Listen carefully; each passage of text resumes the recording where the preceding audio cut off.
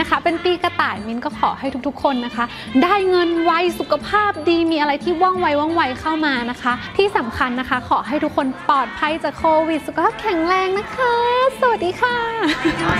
ะ